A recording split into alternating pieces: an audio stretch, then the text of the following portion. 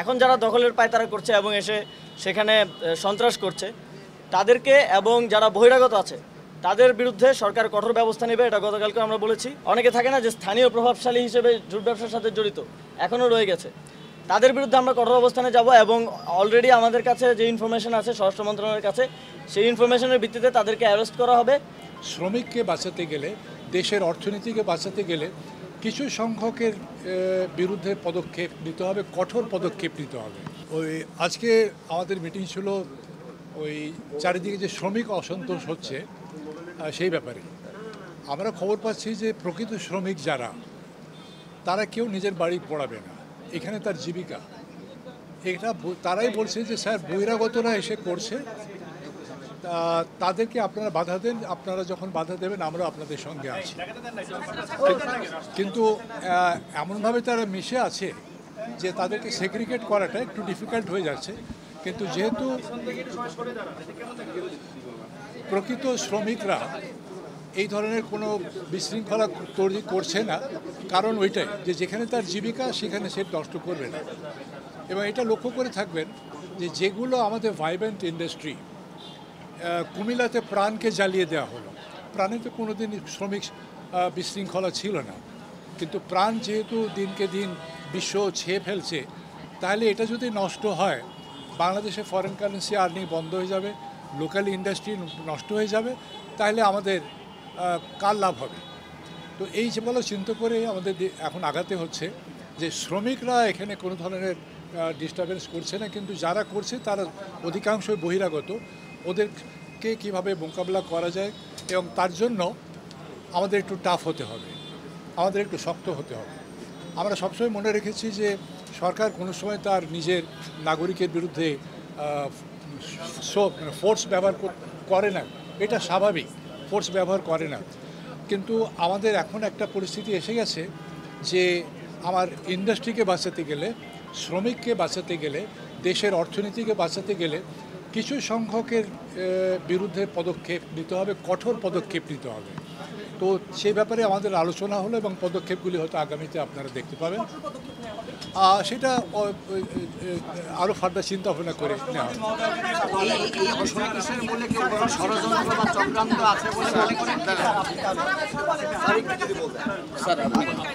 না আমরা স্যারে তো পুরাটাই বলে দিয়েছে।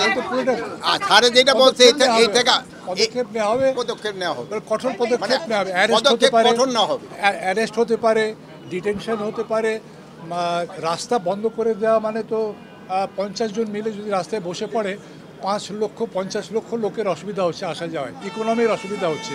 তাদেরকে সরানোর জন্য যদি আমাদের ফোর্স ব্যবহার করতে হয় লাঠিচার্জ করতে হয় জল কামান ব্যবহার করতে হয় আমরা করব।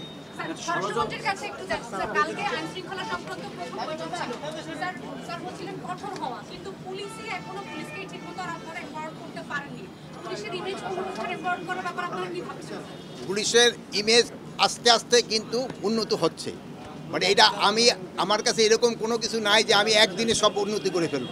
এটা আস্তে আস্তে হবে, যেহেতু তাদের, আপনার যেটা আইডেন্টিফাই করছেন কারেক্ট বাট আমি তো একদিনে এটা কিছু পারব না। আপনারা আমাকে সময় দিতে হবে।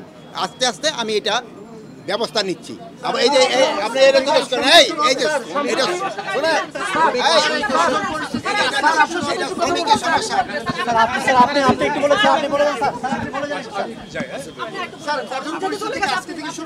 আপনারা একটু বলুন। যেটা হলো যৌথ অভিযান চলছে আহ, আজকে থেকে। এই যৌথ অভিযান কি শুধু অস্ত্র উদ্ধার নাকি মানুষ উদ্ধার? কীভাবে এ- এটা হচ্ছে যৌথ যৌথ ইয়ে যৌথ অভিযানের প্রাথমিক তার ইয়ে হচ্ছে টিওআর হচ্ছে অস্ত্র উদ্ধার। কারণ এই অস্ত্রের কারণে সন্ত্রাসী কার্যকলাপ হচ্ছে, ইত্যাদি হচ্ছে। সুতরাং অস্ত্র উদ্ধার হচ্ছে এক নম্বর। দুই নম্বর হচ্ছে যে যাদের কাছ থেকে অস্ত্র উদ্ধার হচ্ছে, তাদের কেউ এই আইনের আওতায় নিয়ে আসা। আর তৃতীয়ত হচ্ছে যেটা আপনার নেক্সট প্রশ্ন ছিল যে পুলিশের মনোবল। এখন মনোবল তো যে হারিয়েছে তার ব্যাপার। সে যাতে পাবলিকের হাতে নিগৃহীত না হয় সেই ব্যবস্থা তাকে নিতে হবে। তার পেছনের অপকর্মের জন্য, স্যার, বিগত দিনের তার বছরের পর বছর অপকর্মের কারণে আজকে পুলিশের যে মনোবল ভেঙে গেছে এটা তো একটা ট্যাবলেট খাইয়ে দূর হবে না।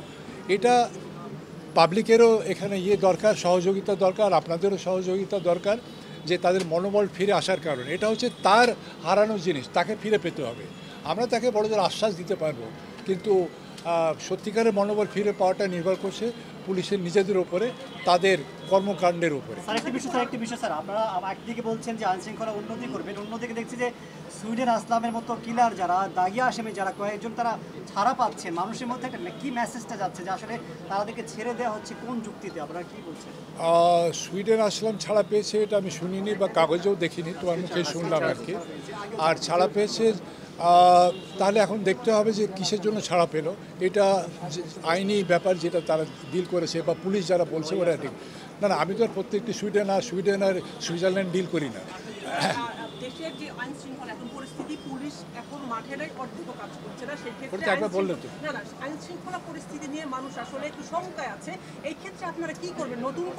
না করবেন? বলি যে না।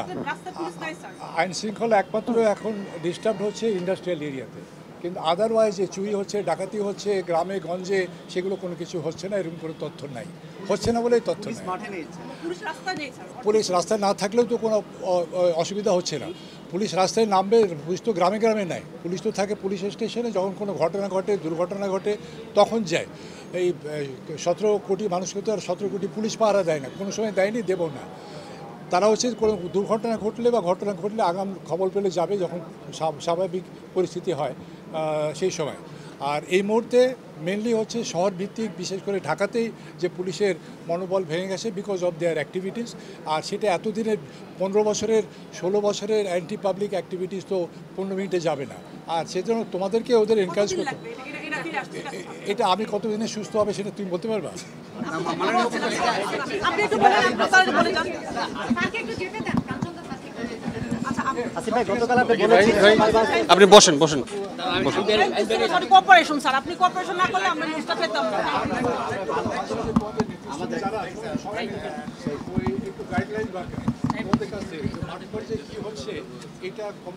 টাকা স্যার আমরা টাকা স্যার উপর দিই না স্যার।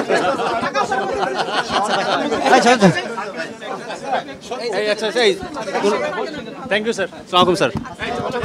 আমরা আমরা গত কয়েকদিন ধরে এই শ্রমিক আনরেস্ট নিয়ে আমরা মালিক পক্ষ শ্রমিক পক্ষের সাথে একাধিক সভা করেছি। আমার শ্রম মন্ত্রণালয় হয়েছে স্বরাষ্ট্র মন্ত্রণালয় হয়েছে এবং আমাদের শিল্প উপদেষ্টা তিনিও কথা বলছেন। সকল শ্রমিক নেতৃবৃন্দের থেকে আমরা এটাই জানতে পেরেছি। গার্মেন্টস নন আর আরএমজি সবার থেকেই এটা জানতে পেরেছি যে এখন যেই আন্দোলনগুলো হচ্ছে আমাদের শ্রমিক নেতৃবৃন্দ তো সবসময় শ্রমিক আন্দোলনগুলোর সাথে যুক্ত থাকেন তারাই মূলত শ্রমিকদেরকে নিয়ে শ্রমিকদের ন্যায্য বিভিন্ন দাবি দাওয়া নিয়ে আন্দোলন করেন। দু হাজার তেইশ সালে আমরা দেখেছি মজুরির জন্য তারা আন্দোলন করেছেন। তারা এই আন্দোলনের প্রকৃতিটা তারা নিজেরাও বুঝে উঠতে পারছেন না। কেননা এখানে কোনো নির্দিষ্ট দাবি উঠে আসছে না কোনো নির্দিষ্ট দফা পাওয়া যাচ্ছে না। সেখানে তাদের যেই, যারা সাধারণত শ্রমিক আন্দোলনগুলোতে সংগঠিত করেন তারাও সেখানে সেভাবে নেই। সেখানে বহিরাগত লোকজনের আধিক্য দেখা যাচ্ছে। কিছু কিছু জায়গায় বেতন দেয়া নিয়ে মালিকপক্ষ বেতন দিতে দেরি করছে, সে কারণে আন্দোলন হচ্ছে। আর কয়েকটা স্পেসিফিক ফ্যাক্টরি আছে যেখানে মালিকপক্ষ পালিয়ে গেছে, সেখানে কিছুটা আনরেস্ট হয়েছে। সেগুলোকে আমরা অ্যাড্রেস করছি। সেগুলোর জন্য সরকার সফট লোন সফট লোনের ঘোষণা দিয়েছে এবং সেটার পরিধি আরও বৃদ্ধি করা হবে। তবে এই ছোট ছোট স্পেসিফিক কয়েকটা জায়গায় আনরেস্টকে কেন্দ্র করে যেই জায়গাগুলোতে ফ্যাক্টরি ক্লাস্টারগুলো আছে সেখানে দেখা গেছে যে বহিরাগতরা এসে এবং বেকার যুব সংঘ নামে কয়েকটা, যারা কখনোই আগে আসলে শ্রম এরিয়ার মধ্যে কোনো আন্দোলন করেনি। এসে গাড়ি ভাঙচুরের মতো ঘটনা ঘটাচ্ছে। শ্রমিক নেতারাই আমাকে বললেন যে তারা ওখানে হেঁটে এসেছেন এবং ওনারা দেখেছেন যে হেলমেট পরা, হাফ প্যান্ট পরা যারা সাধারণত টোকাই আর কি, যাদেরকে টাকা দিয়ে বিভিন্ন প্রোগ্রামের জন্য ইয়ে করা হয়, ভাড়া করা হয়, তাদেরকে সেখানে দেখা গেছে। আমরা শ্রমিক নেতৃবৃন্দের সাথে কথা বলেছি, আমরা তাদেরকে বলেছি যে আপনাদের শ্রমিকদের যে ন্যায্য দাবিগুলো আছে, সেগুলো নিয়ে আমরা অনেকগুলো লং টার্ম দাবি আছে, যেমন বেতন বৃদ্ধি। লং টার্ম দাবির মধ্যে আছে শ্রম আইন। তো এগুলো নিয়ে তো আমরা লং টার্ম আলোচনা করতে হবে। আমি তো একদিনে বসে শ্রম আইন ঠিক করে দিতে পারব না। তো তারাও এটাতে একমত হয়েছেন এবং তারা বলেছেন যে শ্রমিকদেরকে তারা এই বোঝাবেন তাদের জায়গা থেকে। এবং যারা বহিরাগত আছে, যাদের এই শ্রমিকদের সাথে কোনো সম্পর্ক নেই, শিল্প, শিল্পের সাথে কোনো সম্পর্ক নেই। তাদেরকে তারা সেপারেট করবেন এবং আমরা স্পেসিফিকলি যারা জুট ব্যবসা নিয়ে সন্ত্রাস করছে সেখানে এবং যারা বিভিন্ন আওয়ামী লীগের লোকেরা যেই সিন্ডিকেটগুলো সামলাতো তারা তো সেগুলো ছেড়ে চলে গেছে। এখন যারা দখলের পায়তারা করছে এবং এসে সেখানে সন্ত্রাস করছে। তাদেরকে এবং যারা বহিরাগত আছে, তাদের বিরুদ্ধে সরকার কঠোর ব্যবস্থা নেবে, এটা গতকালকে আমরা বলেছি। এবং এখানে এখানে স্থানীয়ভাবে আওয়ামী লীগও আছে কিছু জায়গায় এবং কিছু বিএনপির স্থানীয় নেতৃবৃন্দেরও আমরা সংশ্লিষ্টতা পেয়েছি। বিএনপির কেন্দ্রীয় নেতৃবৃন্দের সাথে আমাদের এই বিষয়ে কথা হচ্ছে, যাতে তারা তাদেরকে নিবৃত রাখেন এবং স্থানীয়ভাবে আওয়ামী লীগের অনেকে থাকে না যে স্থানীয় প্রভাবশালী হিসেবে জুট ব্যবসার সাথে জড়িত, এখনও রয়ে গেছে। তাদের বিরুদ্ধে আমরা কঠোর অবস্থানে যাব এবং অলরেডি আমাদের কাছে যে ইনফরমেশন আছে স্বরাষ্ট্র মন্ত্রণালয়ের কাছে সেই ইনফরমেশনের ভিত্তিতে তাদেরকে অ্যারেস্ট করা হবে এবং যেই জনদুর্ভোগ সেখানে তৈরি হয়েছে সেই জনদুর্ভোগ আপনারা জানেন এটা হচ্ছে আমাদের আইনেই আছে জনদুর্ভোগ সৃষ্টি করলে সেখানে সেটার জন্য পুলিশ ক্যান টেক অ্যাকশন এবং সেই জায়গায়